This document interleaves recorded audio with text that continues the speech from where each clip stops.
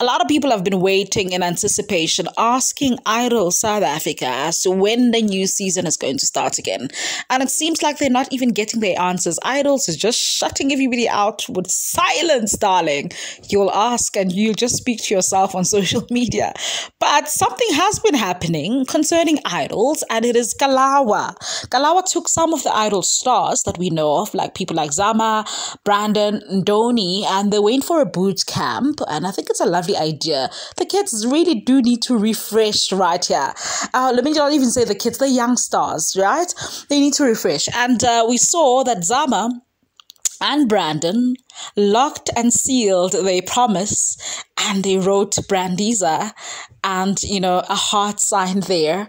And it just says pure romance good people. At the boot camp they just loving each other still. It's so so nice to see the relationship blossom like this. You know what? I am a hopeless romantic. I love beautiful things. I love love you know? So if they're going to continue together and just be lovers and call themselves brandiza and release music i'm up for it otherwise what do you have to say about this let me know in the comment section below also remember to click subscribe so that you don't miss out on any of the latest out of course, the trendiest news ever.